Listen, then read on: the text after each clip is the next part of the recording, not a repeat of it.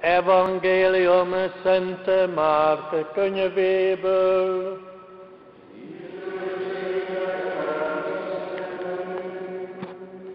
Abban az időben az apostolok visszatértek Jézushoz, és beszámoltak mindarról, amit tettek és tanítottak.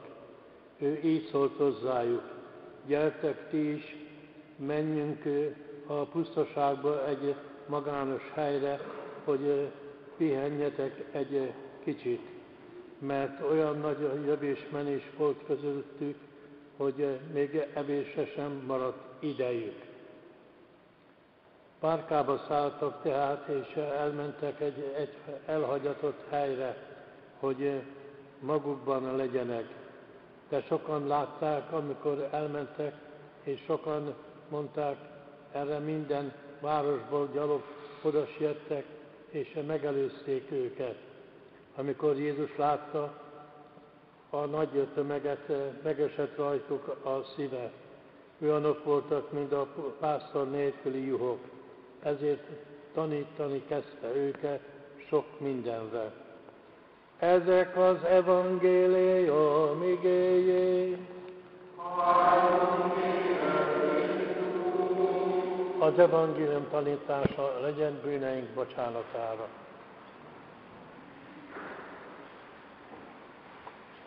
Kedves testvéreim, hogy biblikusan kezdjem, úgy is mondhatnám, hogy a mai témánk így foglalható össze, elmélkedési témánk, hogy az Isten országa olyan, mint amikor az ember együtt ül Jézussal egy fatákolmányba, és alig lebeg a vízen. Parton gyalog is városokból, falvakból meg lehet előzni, hogyha mondjuk 5 kilométerre vagy 3 kilométerre kell eljutni.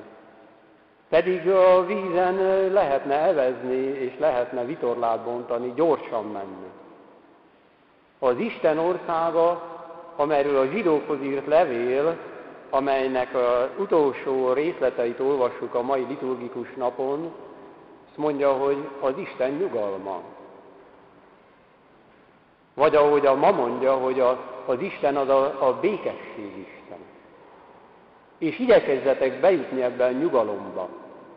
Ez a szombat neve, az Úr napja, az Isten országának előképe, az Istennel való együttlétben való megnyugvás és békéje az ember lelkének.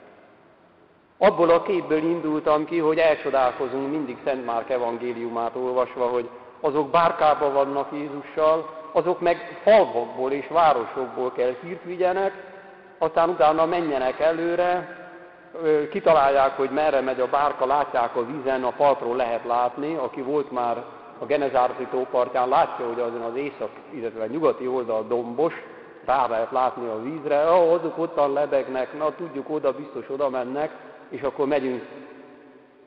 A nyugalom és a béke az Istennel, amit a világ nem szeret, hanem szereti habzsolni az életet, és akkor olyan, mint a zsák, amiben az alja lyuk van, és dobálhatnak, amit akarnak, soha nem telik meg. Soha nem elég. Ennyi pénzem van, még több kell. Nyugdíjas vagyok, nem baj, dolgoznom kell, mert még több pénzt kell adnom a gyerekemnek, az unokám, mert attól lesznek boldogok, és ettől fognak üdvözülni. Még többet kell hajszolni magamat, nincs időm leülni az Istennel végre egy kicsit csendbe, vagy úgy egy napot neki szánni, hogy akkor most csak vele foglalkozok, a Szentírást elővéve, ki, elmi, napi rendet csinálva, és hogy ettől eddig csak olvasgatom, utána vagy elmerül az ember az Istenbe, akkor imádkozom, és végre nem elzavarom, elzadarom a mi atyánkokat, az üdvözlényeket a, a, a rózsafüzérben, mert nem az a lényeg, hogy hármat mondok-e, lehet, hogy egyet se kéne, mondjuk egy üdvözlégyel egy órácskát eltölteni vagy egy mi atyánkkal, mert az Isten békéjét élvezem, miközben azon morzsolgatom, hogy legyen meg a te akaratod. Lebegek Jézussal a ladikba, és boldog a lelkem. És nem tudom elmondani, hogy teljesítettem öt egész rózsafüzért, te csak kettőt, én ötöt. És, hanem csak azt, hogy elmondtam egy üdvözlégyet és egy mi atyánkot, de órákig tartott, de boldog vagyok, és nem kell más az Isten nyugalma és béké. meg hajszolunk, hogy ajjajjaj, mennyi ugye, teljesítményre, mit kell csinálni, hogy kell, ide, semmi, nincs időnk. Elvégeztem a gyónást, mindig, már többször mondtam, mindig elképedek, hogy hétköznap nem kötelező a szentmise látogatás, ez azt jelenti, hogy a áldoztatás van, éppen valaki alkalmas és erre jár, igen, jöhet. Elvégezi a gyónás, megy az áldoztatás, hú, gyorsan szalad, a szent, szalad, mert a boltból kell menni. Csak a lényegét, az élet célját dobja el. A boldogságát. A mennyek országa megtapasztalását. Éppen tiszta lelke, éppen Krisztus maga akarja elfoglalni a helyét az ő ladikjában, nem kell, hanem szaladok meg kell, most végre kiálltam a sort, jaj, mennyit gyont előttem a másik, mikor fejezi abba, abba és ah, szigorúan ránézek meg. Magamba, és akkor megyek be gyónni. És akkor utána vége, és akkor szaladok, mert nem érek rá. Se béke, se nyugalom, se boldogság, se Isten országa, se semmi. Milyen kevés dolgon múlik az ember boldogsága, nem a sok, nem a, hogy is mondjam, csak a, a hajszolásán az életnek, hanem ellenkezőleg a megnyugvásán, az életben, aki maga Krisztus, az élet. Az élet megjelent, mondja Ján. Az élet, és nem kell az élet.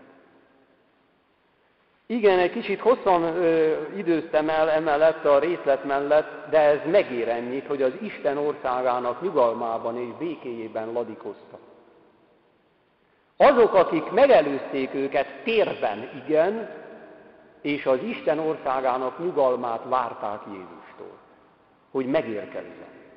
Aki lehet, hogy kisebb sebességgel ment a térbe, de a kegyelmet tekintve nála volt a boldogság, a cél. Nem kellett sietni. Ezeknek sietni kellett, hogy a parton várták ezt a nyugalmat, ezt az Isten országát. Ők nem pont ezért mentek oda, hanem csodát látni, vagy egyéb más emberi indikációk miatt, de a valóság ez, hogy az Isten lelke azért keltette bennük a nyugtalanságot, hogy nekünk ezt a mestert látni kell, mert ő valójában azt akarta, hogy várják a békét, a nyugalmat, a boldogságát, az Isten országát, ott várták a parton.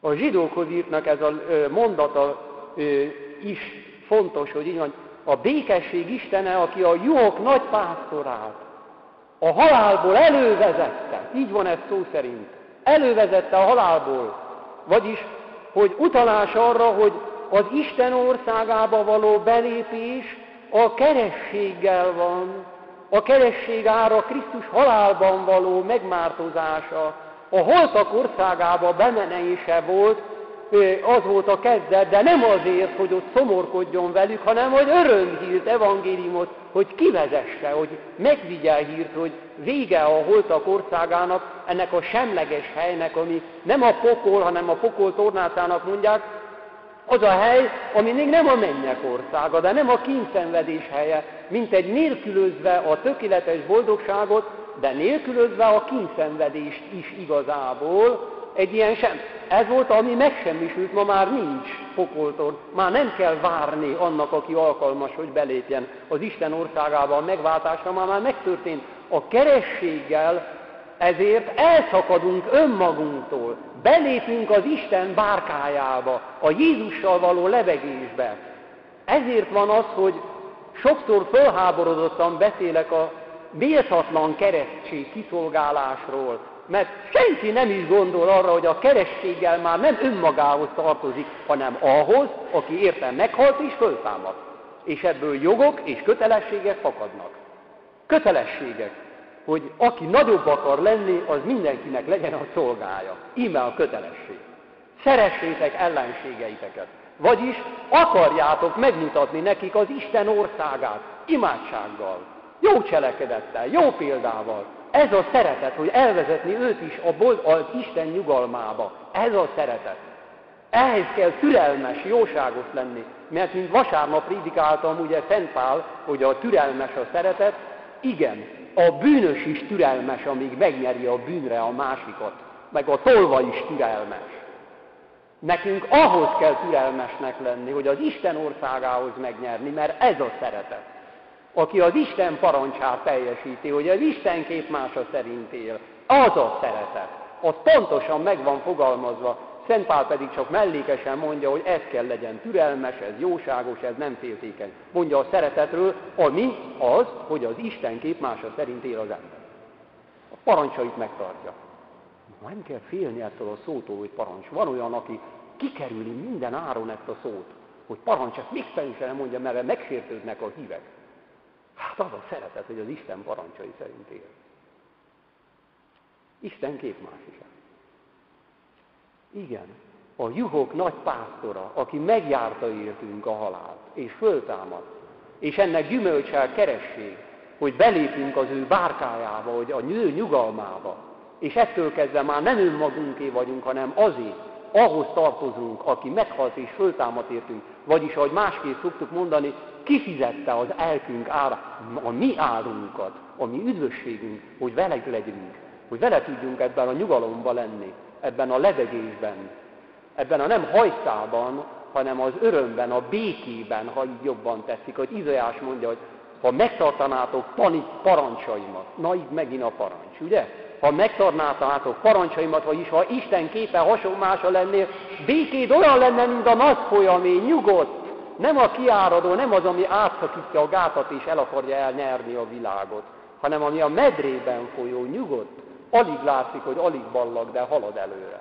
A békéd akkora lenne. Kiáradna belőled, nem csak benned, hanem a másik felé is. Ugye ez a keresség által. De aki se nem tudja, se nem érti, sincs felvilágosítva, megkeresztelték, ez valami, megtörtént valami, és utána él úgy, mint hogyha nem is lenne Isten békéje, nyugalma, szeretete, boldogsága, Isten országa, minden fütyű rá, hanem hajszolja azt, hogy Istenem, ad nekem ezt is, azt is, azt is, amazt is, akkor jó Isten vagy. Ha nem adod, akkor meginok benned a hitem. Hát ez nem keresztény élet. És boldogtalan. Megkapja, akkor se örül, nem kapja meg, akkor szembefordul Istenével. Jogok és kötelességek. A jogok pedig az, hogy a szentségi Jézussal éljen. És ez nem csak az oltári szentséget jelenti, hanem az összes többit is. A gyónás szentség is a szentségi Jézussal való élés. És hiába jön a szentségi Jézushoz, az oltári szentséghez, ha időtlen idők óta nem ismeri a gyónás szentségében a szentségi Jézust. Megint csak mellé ült. Megint csak mellé fogott, se nyugalma, se békéje, se öröme, se boldogsága. Hogy is mondjam, és most többes szám első szemébe mondom, mindig magunkat ítéljük boldogtalanságra, és mindig másokat vádolunk a boldogtalanságunkért, pedig saját magunk kovácsa vagyunk, saját boldogtalanságunk. És ez így van minden hivatásban, a szerzetesiben, a papiban, a házasságban. Vagy valaki, ugye van, aki mondta Jézus, hogy alkalmatlan rá mindegyikre egyedül az Istennel, ugye se házasság, se papság, se szervezet. De az is egy hivatás lehet, abban is lehet boldog tökéletesen, beülni Jézus bárkáján, a békéjében. A juhok nagy pásztora, aki teljesítette az ígéreteket, hogy magam megyek el, keresem fel juhaimat, és viselem gondjukat nem vesszük észre, hogy velünk van, fölkeres, és viselni akarja gondunkat. Mert ugye a mai világ, ugye az nem olyan, mint 2000 éve volt, hanem most fölgyorsult az élet. Egyszer találnám meg ezt a szöveget, ami körülbelül ez volt a lényege, és utána megnéztem, és kiderült, hogy körülbelül 1500 vagy 1600 évvel ezelőtt írták mindenki azt gondolná, hogy ez ma, máról szól. Vagyis mindig úgy volt a kőkorszakban is, hogy földgyorsult élet. Az ember mindig olyan volt, mint most. És mindig ugyanazokat a kifogásokat találja. Az Isten országa is mindig ugyanaz. És ezzel zárom le. A tegnapi zsidókról írt levél részlettel. Hogy Jézus Krisztus ugyanaz tegnap, ma és mindörökké. Ne hagyjátok, hogy különféle megtévesztő tanítások félrevezessenek benneteket. A Krisztus és én kapcsolat. És ebből következik az emberek és én kapcsolat, ami csupa véke, csupa erem és csupa szeretet, ezzel együtt csupa szolgálat és csupa beteljesülés, hogy érdemes élni, és tökéletes az életem. Istentől eltelt élettel húzom fel a lábamat az ágyra, mint Jákob vagy mások, hogy főhúzza a lábát Dávid, ugye? És hogy betelt az élettel, mert hogy ennyi felesége volt, annyi győzelme volt, ennyi gyereke van, annyi unokája, ennyi szamara, annyi, és akkor betelt az élettel. Semmi. Mert az Isten akarata szerint tudtam élni. A helyemen voltam. Mert végül is így szól ez a zsidókhoz írt levélrészlet, a békesség Isten, aki a juhok nagypásztorát elővezette a halálból, tegyen orr minden képesítéteket minden jóra, hogy az akarata szerint éljetek. És ez a beteljesült élet. Amen.